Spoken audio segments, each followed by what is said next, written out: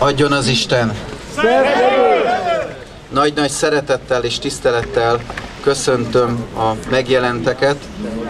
A Jobbik Magyarországért mozgalom Székesfehérvári alapszervezete nevében az immár hagyományos és sokadik adventi kettős keresztállítási ünnepségünk alkalmával szerveződése, pártállapulása után az adventi kettős keresztállítás misszióját, hiszen óriási nagy szükség van rá, hiszen a mindennapi életünkben egyre inkább az anyagi dolgok játszák a fő szerepet, és a szent ünnepeink, vallási egyházi ünnepeink helyét egyre inkább az ünnep igazi lényege és értelme felől az evilági dolgok, javak és a habzsolás és az önzés irányába viszik, és így bizony egyre inkább kifakul és elszürkül az ünnepünk.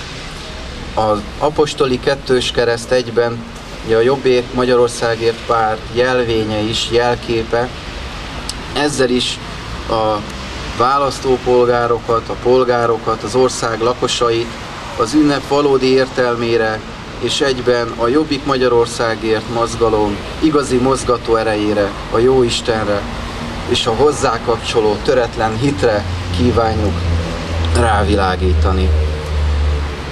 Ezen bevezető gondolatok után engedjék meg, hogy átadjam a szót Izsai Szilviának, aki az alkalomhoz illően egy szép verset fog elmondani. Köszönöm. Egy székesfehérvári költőtől hoztam önöknek egy verset, a neve Bódás János. A vers címe, hogy lássak. Uram, látom keresztedet, melyről rám kegyelem ragyog. Belátok a mennyi ablakán is, mégis érzem, hogy vak vagyok. Tekintetem a lét sötét kötkorlátain átszökel. Tisztán sugárzik már a távol, de homályba vész a közel. Távolba látó szemeimre kent gyógyító sarad, hogy azt lássam jól, ami itt van. Értsem a tegnapot, s a mát, az igazságot, ha kemény is, stán épp az én bőrömre megy. Legyen most a történelem egyszerű, mint az egyszer egy, s valljam az igazat igaznak, ha éles is, s vág, mint a kés. Ne tévesszem meg álszent jelszó, farizeusi sziszenés, mely nem bánná, ha sivataggá válna a világ s a haza, inkább tűz, vér és pusztulás, csak néki legyen igaza. A Krisztuskodás is lehet ma kígyó méreg, sátánköröm, de az legyen öröm nékem is hát, mi az egész népnek öröm. És ha milliók kinyílt szemében látom a tavaszi derűt, szeressem, amit ők szeretnek, és együtt örülhessek velük.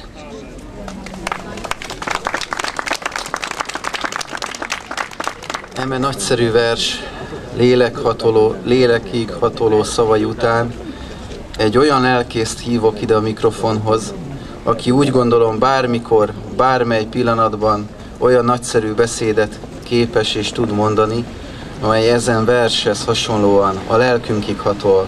Fogadják nagy szeretettel ifjabb Hegedűs Lórántot.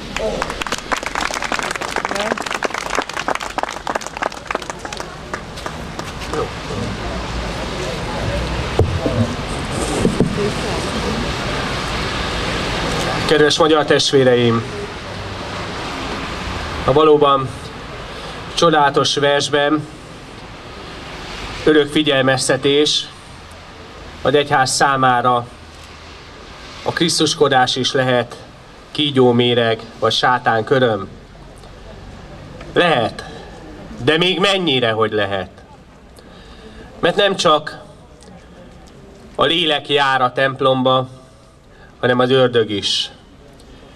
Nem csak Isten ihleti az embert megtérésre, újjászületésre, megigazulásra és megszentelődésre, hanem az ördög a maga tisztátalanságát, igazságtalanságát, hazug gáncsvetéseit is elhelyezi, és megpróbál bennünket újra és újra, ha engedünk neki, a kísértőnek, a kísértés nem próba lesz, hogy megerősödjön a mi hitünk, és elkötelezzük magunkat Isten szent ügye képviseletére, hanem elbukunk, ahonnan már csak rendkívüli isteni közbenyúlás menthet meg bennünket.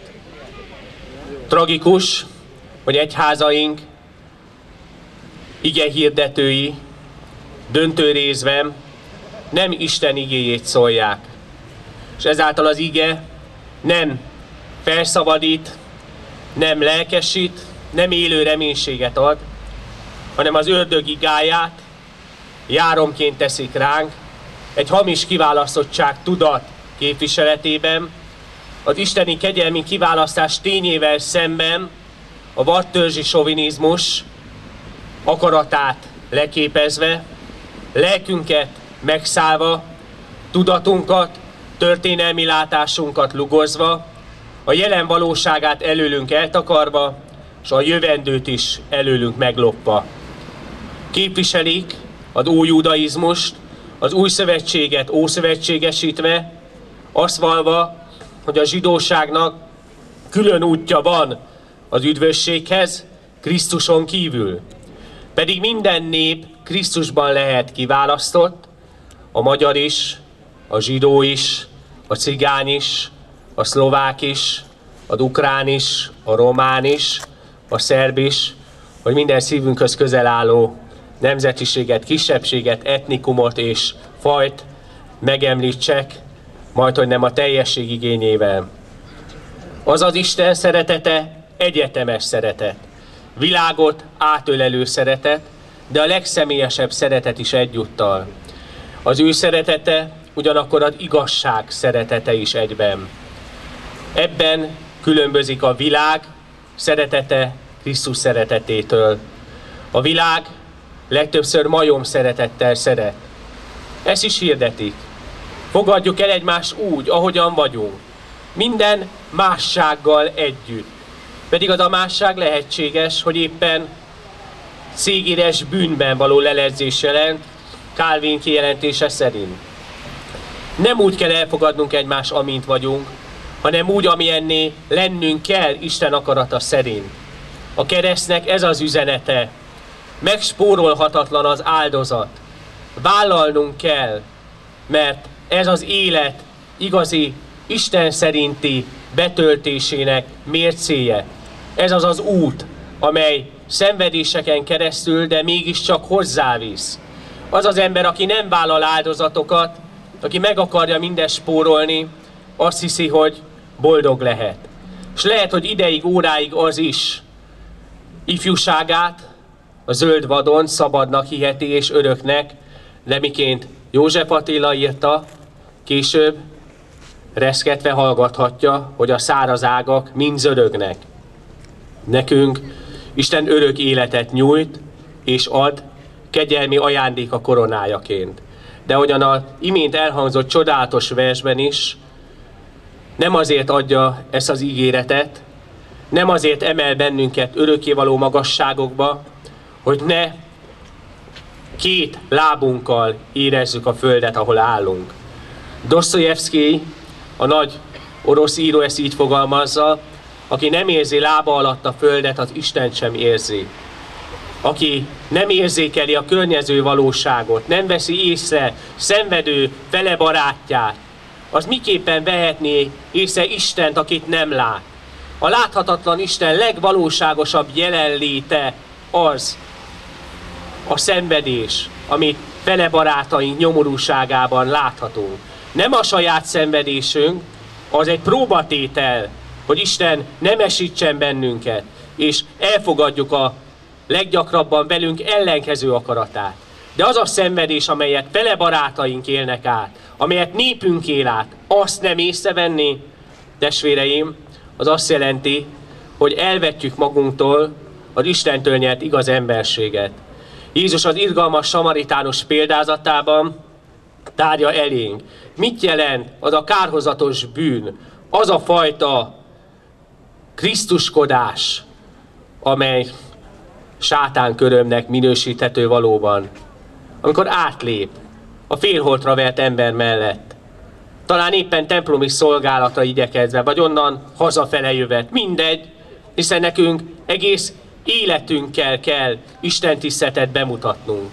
Mit ér az a pap, aki bort iszik és vizet prédikál? Képmutató és farizeus.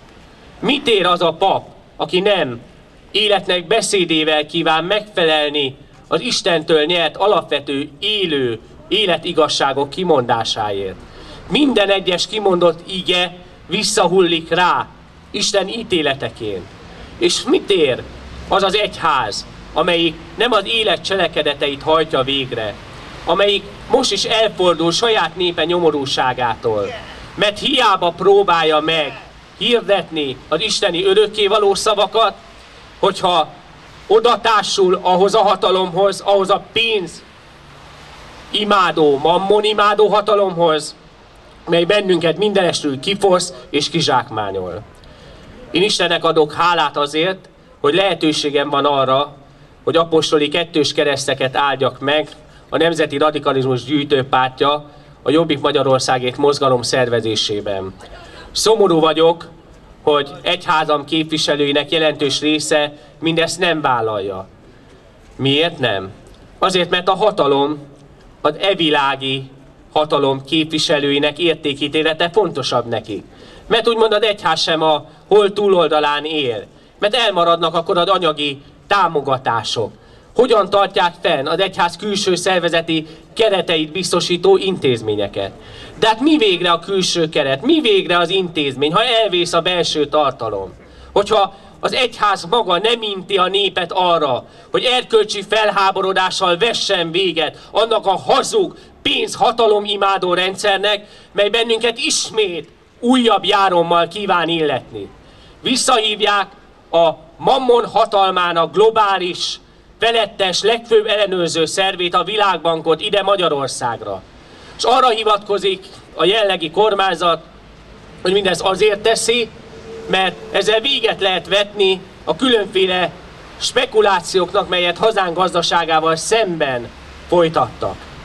Tehát kérem, arról nem lehet beszélni, mert az már nem lenne polkorrekt és szalonképes, az már nem az ördögtől, a mammon istenétől szólna az ő hangszerelésében, hanem isteni életigassággal szembesítene, hogy éppen a világbank volt az, amelyik ezeket a spekulációkat végrehajtotta. Miért? Hogy vissza kelljen őket hívni.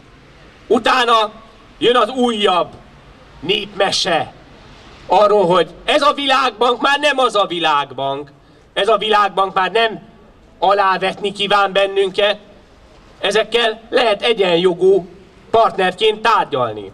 Többféle megoldási lehetőséget kínálnak fel. És akkor, amikor ez a népmese elhangzik, jön az egyértelmű jelzés a világurai részéről, amikor is leminősítik saját hitelminősítő intézetükkel az országot, azaz bennünket, testvéreim. 10 millió ember. 10 millió ember munkáját és fáradtságát. Hát ki hatalmazta föl tulajdonképp ezeket a leminősítő intézeteket, hitelminősítőket arra, hogy így cselekedjenek. Hogy valakit felértékeljenek érdemtelenül, valakit pedig leminősítsenek érdemtelenül. Volt valami fajta demokratikus népképviseleti kiválasztás e mögött? bármely szakmai testület felhatalmazta őket erre?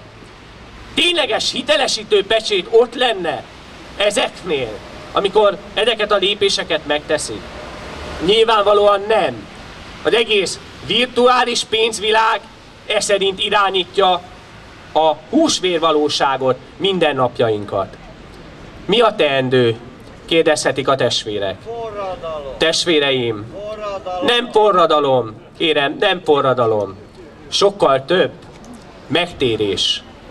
Megtérés és újjászületés. De nem azért, hogy bevonuljunk saját szobánkba, lelkizni, hogy a mi mennyei atyánk, aki titkon néz, megfizetnékünk nyilván, mert megfizet azért a árulásért, amelyet teszünk, amikor nem belső szobánkba küldene imádkozni, no azt is meg kell tenni, hanem amikor az élet cselekedete lenne a leghőbb imádság.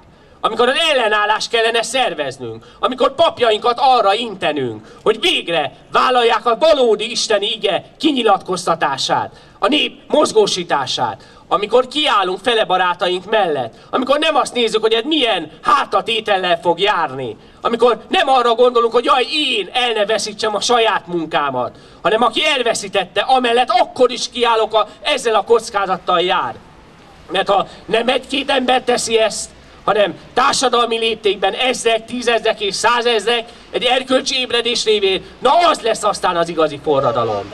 Teljesen új szemléletváltásra van szükség. És ezt a szemléletváltást jelzi számunkra az apostoli kettős kereszt, mely Krisztus áldozatában való részesedést hirdet, Péter apostol kijelentése szerint, Szeretteim, ne rémüljetek meg attól a tűztől, mely megpróbáltatás gyanán támad köztetek, mint a valami rémületes dolog történné ti véletek, sőt, ha részetek van Krisztus szenvedésében, örüljetek. Azaz, senki ne gondolja, hogy olyan áldozatot hoz, amiért neki önmagát kellene sajnálnia. Hanem ha áldozatot hozhat, akkor Istennek adjon dicsőséget azért, mert térben és időben, itt és most lehetővé tette neki, hogy saját népéért küzdjön, áldozzon, ha kell hátratételt is szenvedjen.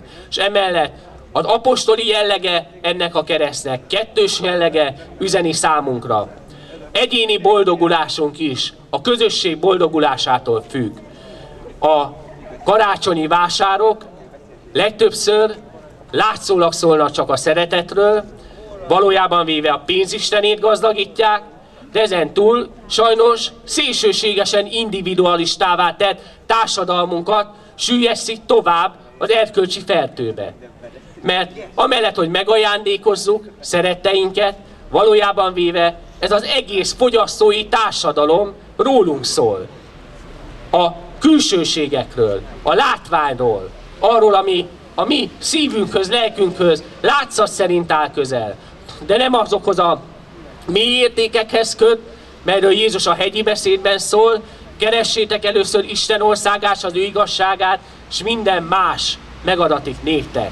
Hát ezt a minden más, minden egyebet kell nekünk keresni, és az apostoli kettős kereszt alatt hitvaló eleink és őseink olyan áldozatot hoztak, mely áldozat méltóvá kellene, hogy tegyen bennünket arra, hogy mi magunk is vállaljuk mindezt. Nem volt még nép és nemzet, mely annyit áldozott volna Krisztus evangéliumi ügye érvényesüléséért, mint éppen a magyar. Ha beszélhetünk kiválasztott népről, Krisztusban természetesen, az éppen a mi népünk. Nyelvünk soha nem látott és felülírhatatlan kifejező erejével, gondolkodásmódjával, lelki alkatával, valóban tágölelésű, evangéliumi, megbocsátó és másokért áldozni kész indulatával a legdöntőbben azzal, hogy a magyar Siont a mindenható Isten megtartotta olyan csapások közepette is, amikor emberi számítás szerint, kérem szépen, esély nem volt rá, és valójában véve mondhatjuk a legnagyobb Isten bizonyíték, hogy még szól a magyar nyelv. Fölmagasodni nem bírhasz, de lobogsz még szélkaszabolt a magyar nyelv, Lángjaidat kígyóként a talaj szintjén idamítva, sziszegvén a kintól többször a bénadütől, megalázott, elhattak szellemeid. Újra a fű közt a gazban, az ajban, mint évszázadokon át a behúzott váló parasztok közt, a ne szám nem pályfejem agjai közt, a nátkukban remegő lányok közt, mi alatt átromogott a tatár, a szída fűzött gyerekek közt, amidőn csak néma ajak mozgás mimelte a szót, mert hangot sem tűr a török, mert arcba csapostól, most mutatod meg, most igazán, nekem is mire vagy jó, most pedig régy címered, hajszálgyökered, kőharapó erejét. Hát ezzel az erővel szólaljunk meg. Ezzel az erővel küzdünk a média álnokságával szemben, mely a legnagyobb lélekszámú stigmatizált kisebbség szubkultúra alatti tenyészetének bűnözői rétegéhez tartozó devolúciós egyedeket kívánja uszítani ősonos államalkotó nemzetünk tagjaira. Védjük az igazi békességet, védjük az Isten szerinti igazság békességét. Küzdjünk a hazug békékkel szemben, a békediktátumokkal szemben, melyet mindig a mammon Istenek reál, és amely garantálja a végső pusztulás. De vállaljuk a háborúságot Isten szent ügyéért, örökkévaló szent lelke képviselete szerint, és akkor feltétlenül milyen lesz az élet adventkor, karácsonykor, az örök karácsonykor, az örök életben is. Köszönöm, hogy meghallgattak.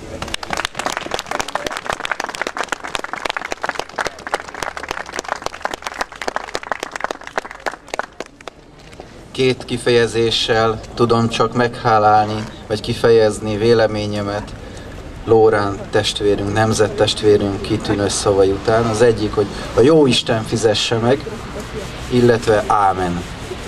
És most pedig felkérem Lóránt, ott lelkész urat és Sörédi Imre atyát, hogy áldják meg Krisztus szent jelképét. Köszönöm.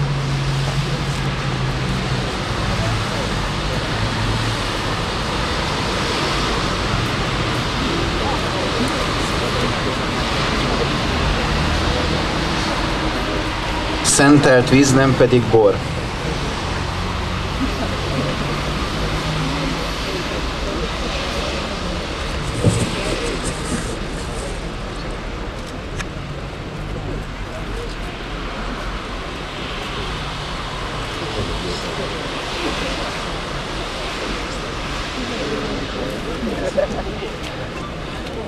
Jézus utolsó boldog mondásával kérek áldás az apostoli kettős keresztre és az apostoli kettős keresztet áldó gyülekezetre, lelkész testvérem áldását megerősítve és a testvéri közösséget is e szerint vállalva.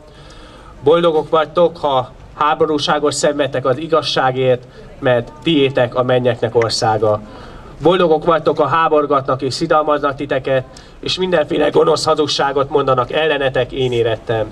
Örüljetek és örvenjetek, mert a ti jutalmatok bőséges a mennyekben, mert így háborgatták a profétákat is, akik előttetek voltak.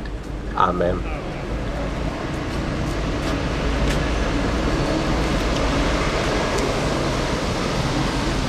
Ezzel az apostoli kettős keresztállítási ünnepségünk végéhez közeledik. Kérem szépen, hogy a Jobbik Magyarországért mozgalomhoz méltó módon zárjuk ünnepi megemlékezésünket, énekeljük el ezért a szózatot, és utána pedig természetesen a székely himnuszt is. Köszönöm.